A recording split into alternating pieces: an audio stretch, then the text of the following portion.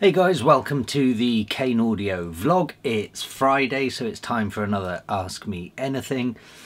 Usual rules apply. Comment any question you want below this video and I'll get to you in next week's video.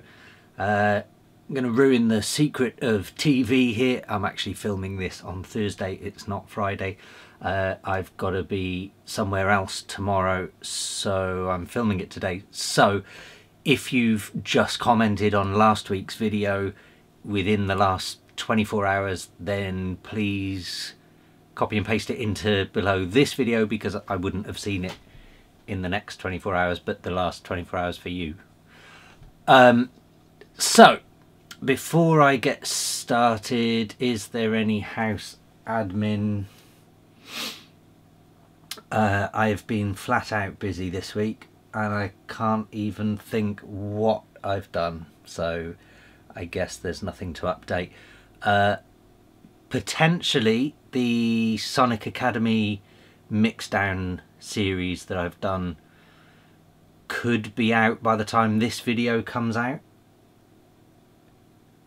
So yeah, I haven't had confirmation of that, but I should be getting it today, but I'm filming the video early. So go to sonicacademy.com and have a look for yourself. Uh, hopefully it is out.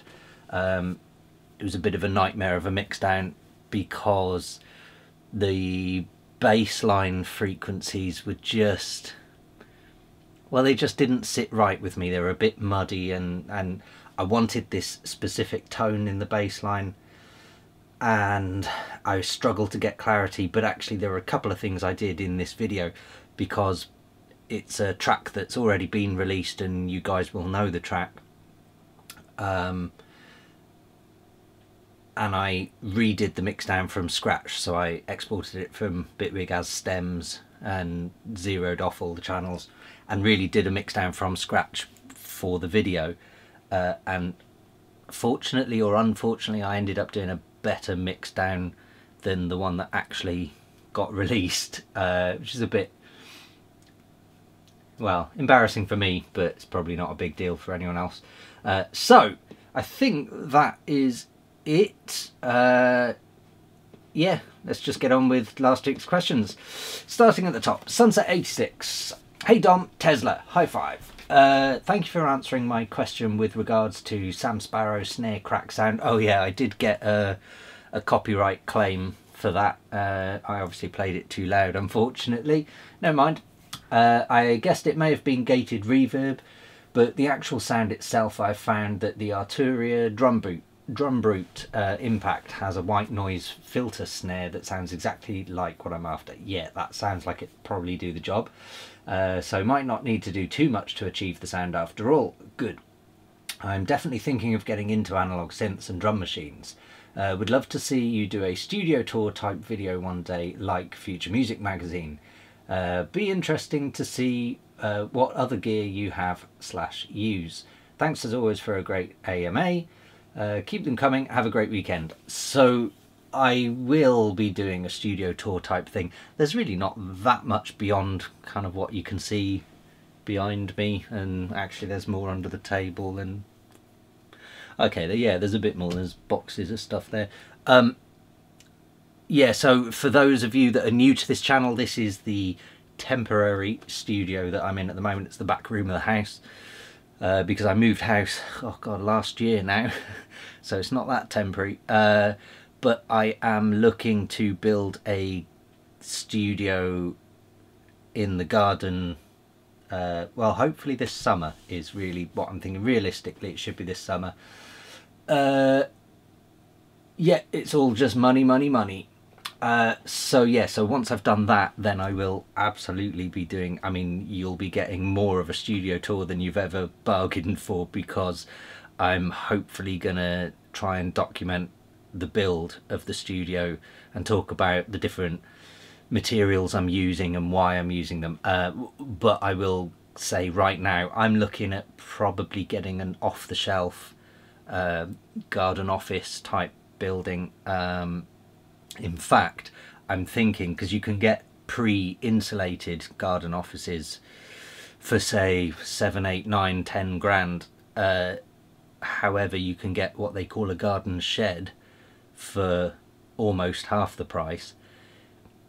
And I'm kind of thinking, well, if I'm going to be doing acoustic insulation anyway, then it might be worth going down that road. Um, I'm still kind of waiting for the right dimensions and everything to show up. Um, either way, it's going to cost a fortune because obviously uh, what you don't know is my gardens are on a slope as well, so the whole thing's got to be levelled, uh, which is going to be great fun. Um, yeah, so it does mean I'm, I'm, going to be going through a proper studio tour, and obviously, uh, you know, you guys will be able to watch me cry as I uh, struggle to build it. I think that's all you asked. Yeah, so I will be doing that.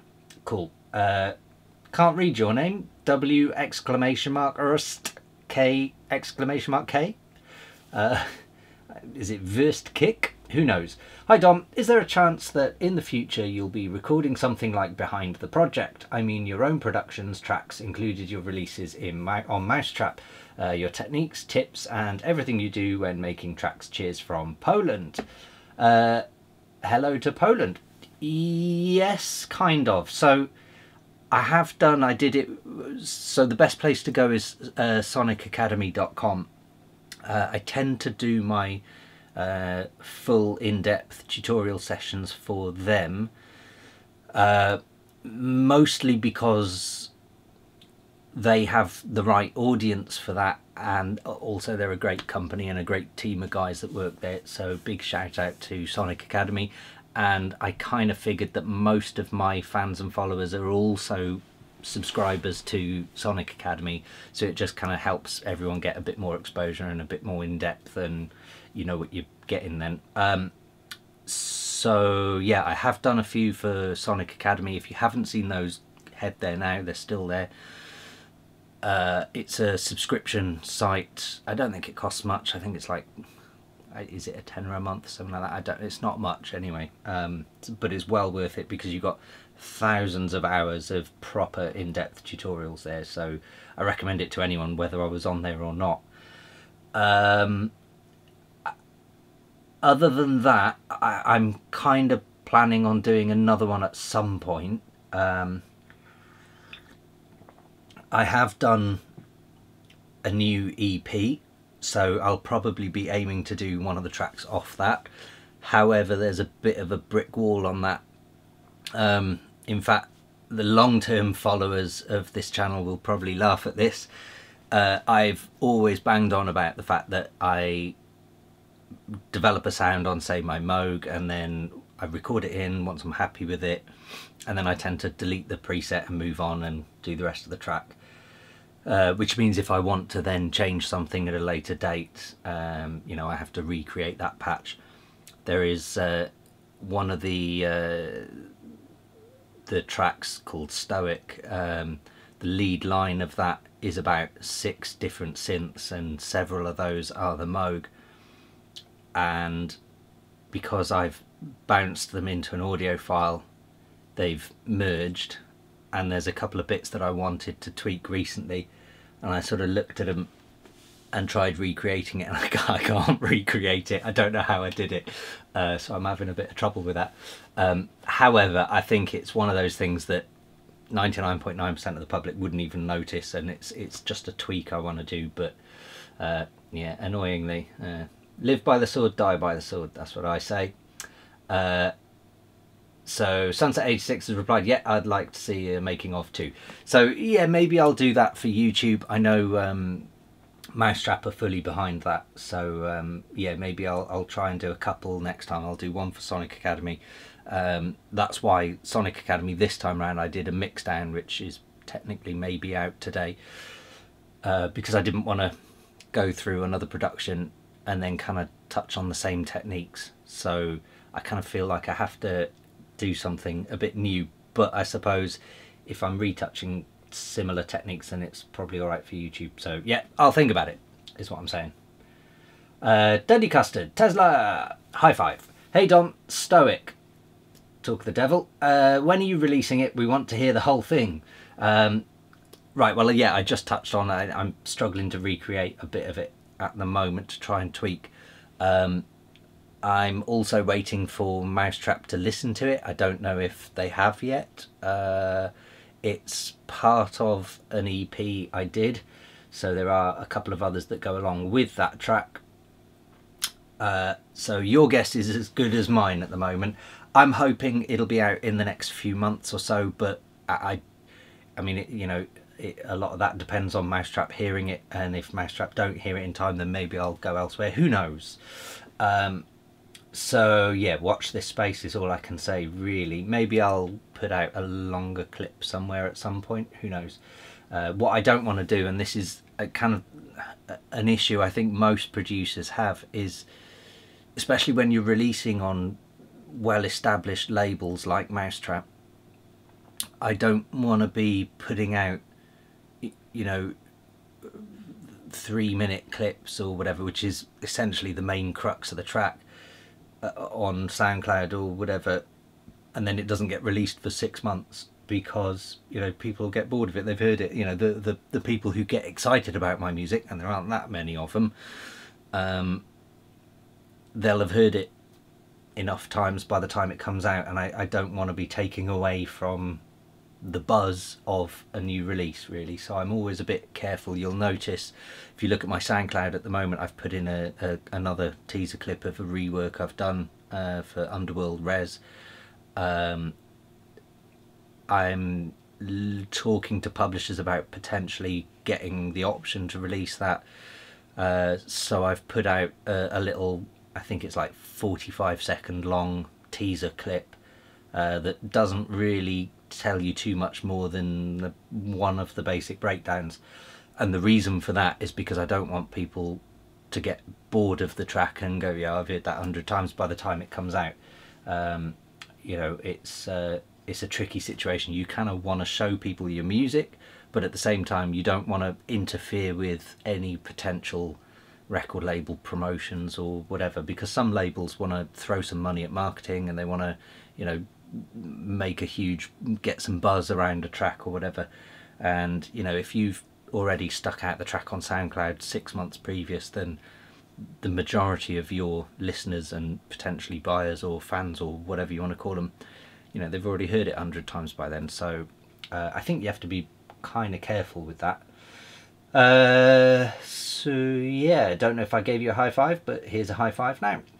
Uh, Andrew Hollis. Hi Dom. Tesla. High five uh, great videos as always. Two questions this week. One, leading on from the mono questions a couple of weeks ago, uh, not sure if this is part of a Bitwig update, but I've seen a mono bass preset in the midside tool. Yeah, I think, I'm pretty sure that's been around for a while. Uh, is this a freebie alternative to the Mono Maker by BX? Uh, yes, basically. I mean, it does the same thing. I, I mean, looking at Brainworx plugins, they put some pretty insane features into things. Um, I know they, I'm fairly sure they do a Mono Maker plugin on its own. And if they do, I, I haven't really seen it. I may be just aware of it, um, as you can tell by the way I'm talking about it. Um,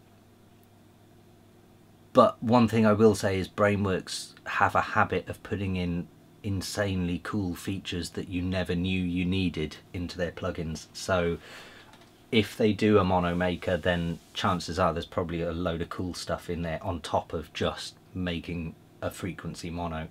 Uh, however, obviously, you know, the Bitwig built-in mono maker, I'll call it a mono maker, is exactly what it does on the tin. So there may be differences, but essentially, you know, the fundamental science is the same. So if you're if you're looking for a cheap or free alternative to something like the Monomaker, then yeah, absolutely, the Bitwig uh, mid-side tool has a bunch of different presets, and uh, there'll be a bass mono in there. I'm guessing you can open that up and change the frequency cutoff point of that as well. So yeah, yeah, you can. So yeah, so by all means, go with that. Uh, two, do you offer music production sessions in person where people can visit the studio and have a day or number of sessions just going through things they want to improve on? If not, would you consider it? Uh, so yes and no. Yes, I have done that with a few people before. Uh, usually they are friends of friends or something like that. Um, and I'm more than happy to because I, I actually really enjoy that. Um, however, what I will say is it, it's not something I offer directly as like a, a service on my website. And the reason for that is because I think it's kind of a complicated issue to approach and I don't believe in scamming people or just making money for nothing. So I would rather people come to me, you know, and if you're interested, by the way, in having something like a personal production service, then um, message me, you know, send me an email from the kaneaudio.com website and basically just tell me how long you've been producing, uh, maybe give me a couple of clips, you know, some SoundCloud links of what tracks you've done so far, and more importantly, tell me what you would want to get from that. Because I have had, uh, in fact, going back to last week's question, there was a question about collaborations and whether I enjoy it. This was another thing. I didn't mention this actually at the time, but it's really important about collaborations. When I have done collaborations or tried to do, the, there's a couple of artists in particular I'm not going to name, uh, they've gone, hey Dom, let's do a collaboration. I've gone, yeah, I'm up for that. Let's do it. This is going back quite a few years, and they've said, oh, I'll come over to your studio. We'll sit down and we'll thrash it out. And I've gone, well, let's maybe sketch up an idea of a track first or whatever. Uh, that hasn't happened. They've come over to my studio we've sat there drinking coffee and we've chatted and had a great day and we've really not done any music and nothing's kind of you know you're just not in the right mindset or whatever so that makes collaborations sometimes quite difficult especially when they're in the same room whereas if you're doing it remotely weirdly it's easier um, so similarly what I wouldn't want to happen is for one of you guys to get in touch and go hey I'll book you for the day and you know and pay my day rate to sit down and we end up just drinking coffee and chatting shit all day. And while that's great for me because I'm making money and having a nice day talking um, I don't think you're really getting your money's worth out of me then. And I so I would rather you approach me with what you would want to learn um, whether that be you're just wanting to learn how to mix or if you're wanting to learn how to improve your arrangements or how to take advantage of some of the Bitwig tools or how to fill in the gaps in tracks or maybe all the above. You know it's uh, it's one of those things but I think you know obviously if you came to me and you wanted to learn how to do a mix down of drum and bass for example then I would turn around and go I'm out because I wouldn't attempt a mix down in drum and bass because they're very very pernickety about their mix downs. Similarly goes for dubstep. Um, so whereas if you but then at the same time if you sent me a dubstep track that you were kind of struggling with on the mix then there's a good chance that I'd be able to listen to it and go oh actually it's not the mix down you're struggling with. It's maybe you know the integration of bass at certain frequencies or whatever and in which case we can set up a session. So like I say it's not a direct service I offer and that's the reason why is because it's hugely complicated and I wouldn't want to scam anyone out of money or whatever. So I would rather people approach me and so if you're interested in having essentially one-to-one -one sessions then I'm up for it but you need to know what you want from it in the first place I guess uh, the other thing I would say is while I'm in this temporary studio, there's probably not really any room to have two people comfortably in here.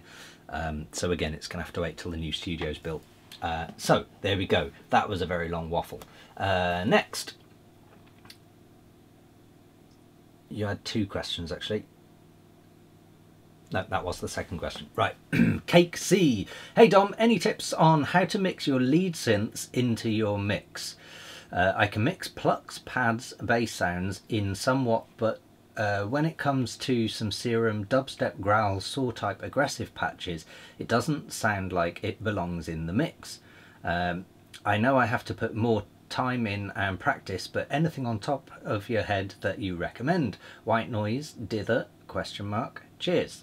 Uh, white noise and dither, forget about it for now. That's way further down the line. If you if you're struggling to get the aggressive basses into there, then you need to dial it back ten steps of, from things like white noise and dither. Um, if you're struggling to get them into the mix, I would first of all look at fundamental frequencies. Um, think about what key your track is in. With an aggressive bass line, there's kind of a, a, a sweet spot of frequencies and it's different for different patches, remember that. So if, for example, and similarly goes for sine wave bass lines when they're really smooth, you know, you'll know when it's the sweet spot if you play C, D, E, F, and you'll find, you know, on some patches, D has that big resonant boominess that you want. Um, but if you drop down one more note to, to, I forgot what I said, I think I said D, so if you drop down to C, then you might find that suddenly you lose all the energy. Similarly for the aggressive growls and saw type basses you'll find there's a kind of sweet spot because especially with Serum a lot of them have the sub bass activated and you do kind of need that sub bass in there. And what you're listening to so when I'm saying fundamental frequency I'm, I'm meaning the lowest frequency and that would be the sub oscillator and you might find that actually raising it a couple of notes or sometimes lowering a couple of notes just gives it that extra depth. Um, the other thing I'll say with aggressive saw type bass lines, you've got to be careful that you don't flood the low frequencies yourself as well. It's quite easy when, especially when you're on good studio monitor speakers, it's quite easy to get a bit too enthusiastic with that sub boomy bass. Um, whereas actually if you listen to tracks from say 13 um, or Feed Me or Skrillex or any of the, the big names within dubstep where you get that big gnarly growly bass you'll if you actually listen to it from a point of fundamental frequencies there's not that much sub or low end going on it's quite clean down there um, and it's very easy because I think we hear of finished tracks, you know, if we think of something like Skrillex Bangarang or whatever, we hear it as this huge, monstrous track, which it is. And when you're in the early stages of a track and you're designing the bass line, you're expecting it to be this huge, monstrous track, but it shouldn't be one yet. You're still in the early stages, and you need to remember that it will get monstrous later on because a lot of that comes down to the mix down and the mastering and you know sticking some great big compressors on there early in the production even but before you get to that stage you you actually you need to start off with something that isn't overpowering. So you don't want too much low end in there. You want a nice little bit of clean sub and then you want that saw to kind of sizzle. So maybe some multi-band compression in there um, to sort of just tighten the low frequencies and then really push the high frequencies as well. And depending on the sound you might want to raise or lower the mid frequencies in multiband compression on that bass line and then similarly for your drums do the same again um, and then make sure they're perfectly matched so the kicks and the bass don't interfere with each other and there's plenty of room in in the dynamics. So you want sharp transients as you know in your kicks and things like that. Um, and then you can kind of fill in the gaps with the rest of your synths and your lead lines and things like that. So uh, I know your question sort of talked about lead synths, but interestingly, the the tricky bit is getting the growly bass right first because once you've got clarity in that, that's when you can bring in your lead line and that's when you've got you've got a space to put that lead line in. So you kind of need to think of the picture of low end to high frequency and you need to fill up all of the the low end in in the low end obviously with your bass lines fill up the very high end with your your hi-hats your snares and get everything really sizzly and and um, you know and bright. And then think about that that gap there is because there is now a gap. And in the upper part, that's where your lead lines need to sit. So, um, you know, in the mid high frequencies, and and then it's a case of questioning the levels of everything to make them sit so that one pokes above the other. And then it's at that point that's when you can start chucking compressors at it and going right now i'm going to slam the shit out of this track and really make it horrible. Um, and then you can you know and and then you, once you've got the mix then you go to the master and then it really gets slammed. So um, yeah hopefully there's a bit to think about there. Um, how's we're doing for time 25 minutes i reckon do another question hopefully uh, Dan C. Hey Dom, thanks for the detailed answer. This is now in my top five most informative series on YouTube, not even kidding. Cheers. Uh, question for the next one, how to approach a label and build a relationship with the label manager slash A&R. Thanks, Tesla rocks by the way. They sure do. High five. Uh, that's a good question, so I'm going to reset the camera so it doesn't run out mid-sentence. Back in a sec. Okay, uh, what was the question? Uh, how to approach a label and build a relationship with a label manager. I think that's a really important question, actually, um, and a difficult one to answer. So, I think we live in a world where people expect things instantly and that's just not the reality of the world we live in. So, you know, I, I have good working relationships with labels like Mau5trap and things, obviously, but you need to understand that before my relationships with Mau5trap, I'd already developed relationships with hundreds of other labels and spent 10 years working my way up to there. Um, don't get me wrong, there are some guys and women on Mau5trap who um, have kind of just happened overnight. They're still young, they're still fresh, and everything's worked for them.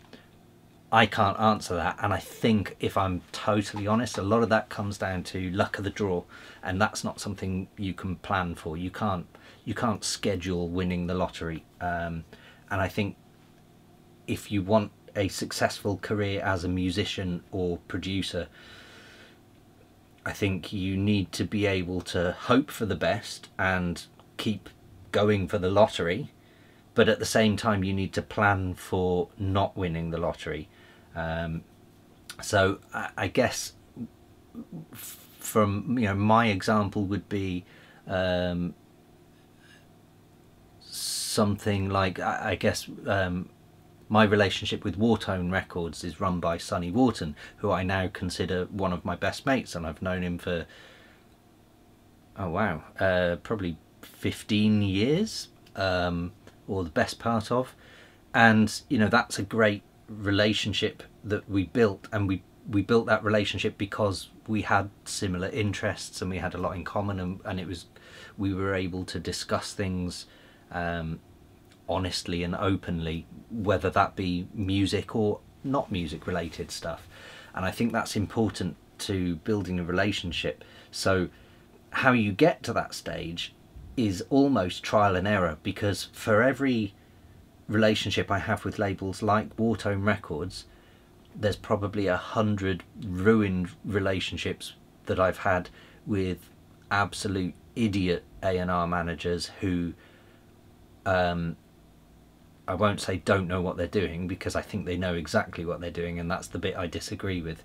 Um, you know, there are lots of A and R managers out there that are just purely based on sell, sell, sell, and uh, or even worse, the image of selling and the image of being successful, and they don't care who they destroy along the way. And there's a hell of a lot of A and R managers out there like that, and I have zero time for that kind of person. So um, I think you know relationships need to develop quite organically. Um, and I think if you find a record label or an A and R manager who's on your wavelength, uh, you know you're going to find that you have a much healthier working relationship because you're able to be open and honest to each other, and you're able, you know, one of you should always be able to go, hang on, that's not going to work. Why don't we try this? Um, so I think that's important, but I guess that's kind of important to life, and maybe I'm not giving you the right advice on how to start that relationship. Um, I, I guess what I'm trying to say is that so for example I'll go back to Sonny Wharton and Whartone Records I when I first got talking to him I didn't know Whartone Records was going to be such a good record label um, and I didn't I, I knew Sonny as a, a good DJ who was on my level and we were sort of not sharing gigs but we were sort of crossing paths when we were gigging and um, you know, we just kind of got talking and things developed, and and and then Whartone Records was born, and everything became good. And I think that's probably more important in a lot of ways. So, I guess the best way to develop relationships with A and R managers is to develop relationships with people who become A and R managers. And again, I guess that's not something you could plan for. Um, other than that, I, I guess approaching a label for the first time is always going to be tricky because the bigger the label, the more people they've got chasing them, and potentially for all the wrong reasons, which means they're probably more likely to be a bit shorter and a bit sharper. Um, so I, I guess the best advice I've got really is is try not to punch too high too soon, because if, for example, you're a new producer and you're not entirely sure if your music is really ready for big labels and whatever, it would be probably almost detrimental for you to send a demo to someone like Mau5trap or Ministry of Sound or Universal or Sony BMG or whoever. Um, because you haven't established that story and that background. And I think I think this is really the crux of what I'm trying to say is that these things take a long time and you need a story to tell and you need a reason to contact a record label. And if your demo isn't up to scratch you run the risk of really never developing that relationship. Um, so it's a tricky one. And i guess um, that's kind of one of the reasons why for example i've got the facebook group that i've set up off the back of this youtube channel um, and if you go onto Facebook and look up Dom Kane Producer Group, I think it's called. Um, you know, have a look at that and some of the guys on there. And I, I love the fact that I can see all you guys spurring each other on and giving each other advice and feedback and tips and tricks and whatever.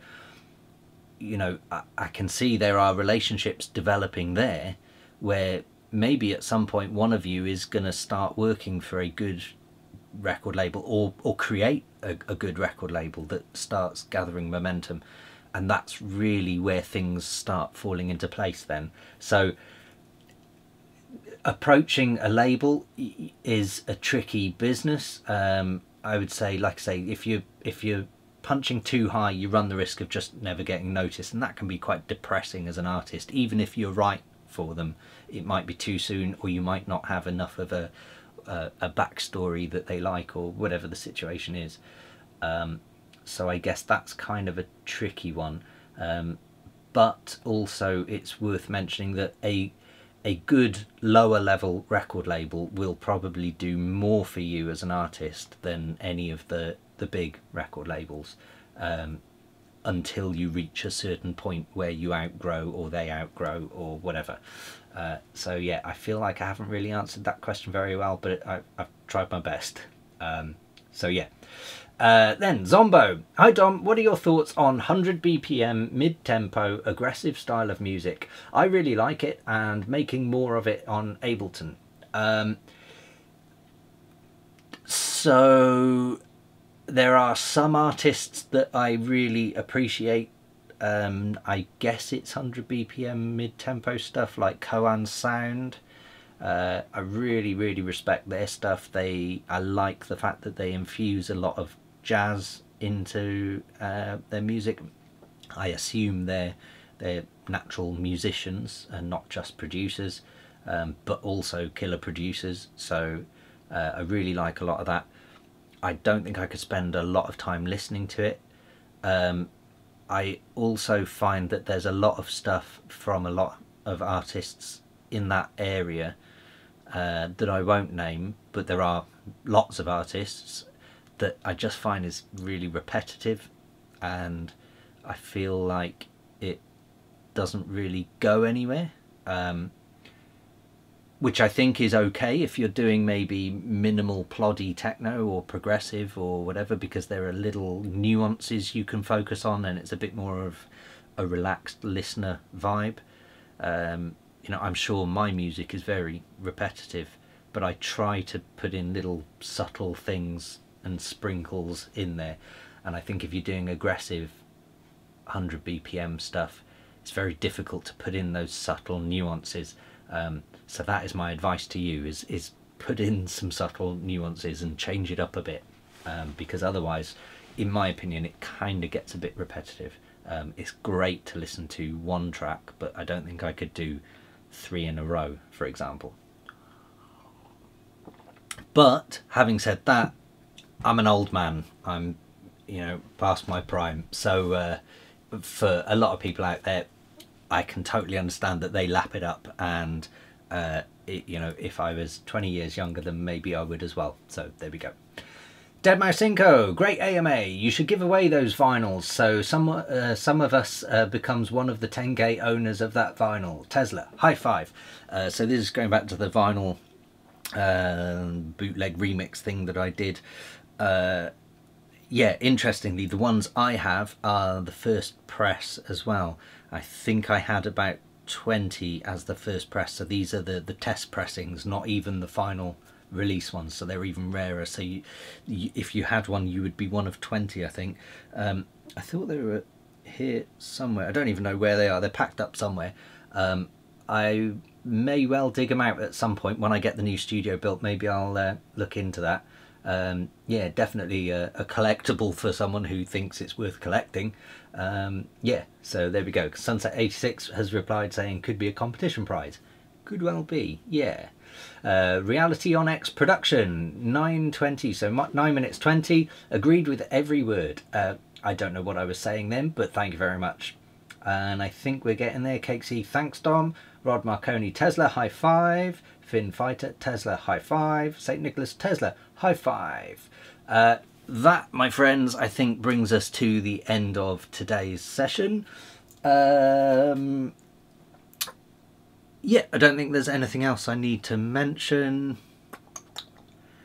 No, so I'll be back again recording this Friday morning next week, as far as I'm aware. Um, so yeah, I hope everyone has a good weekend. Uh, if you have made it this far in, let's find a keyword in the recommended videos. What have we got? Do you know what? I haven't used that one before. Deadmau5. Um, that's come up as a recommended video. So if you've made it this far into the video, comment the word Deadmau5 to let me know. Uh, as usual, please do like, comment, subscribe, share, hit that notification panel and you get notified every time I upload a new video. Uh, yeah, have a good weekend. I'll see you next week. Cheers.